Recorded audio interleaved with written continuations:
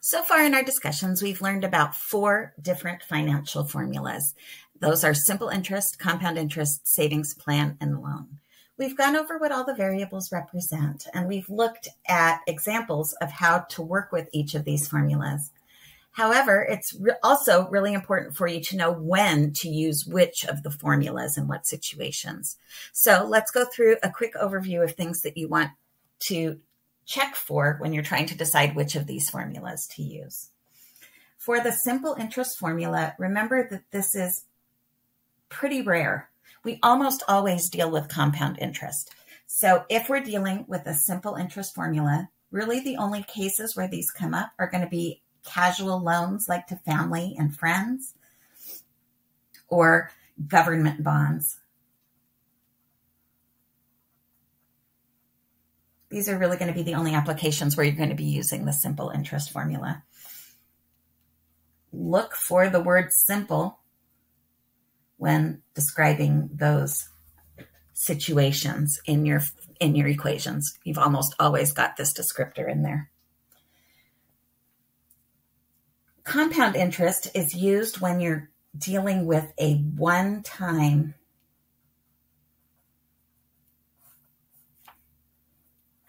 deposit. You're taking a big amount of money and just leaving it alone for a long time or a small amount of money. But the idea is all that's happening is we're getting that one fund, we're going to put it in and then leave it alone.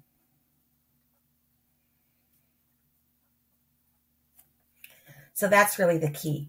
Savings plan and loan formulas have these regular repeated things going on. So if you're doing stuff on a regular basis, you're going to be in the savings plan formula area or the loan formula area. The savings plan is when we're making regular, repeated deposits.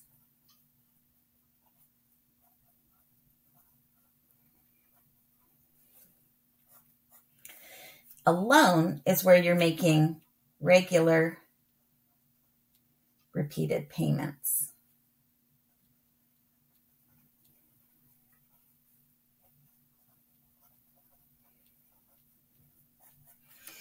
I like to remind myself that the negative and the exponent kinds of kind of reminds me that I'm dealing with payments here instead of making money with the positive value here. Another way that I like to tell the difference between these is if I'm doing lots and lots of repeated values, like every week, every month, look for that kind of every something. So you you know you're doing it more than once. In fact, you're usually doing it lots and lots of times. But with a savings plan, you're starting with zero dollars.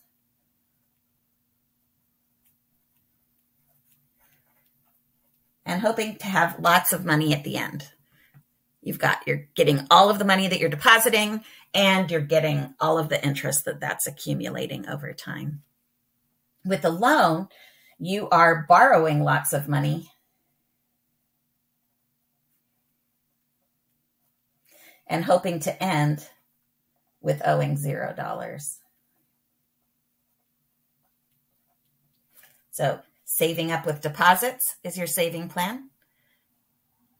Making regular payments on borrowed money is your loan plan. So, hopefully, this will help uh, give you some differentiation and what to look for. These are one time, these are regular and repeated.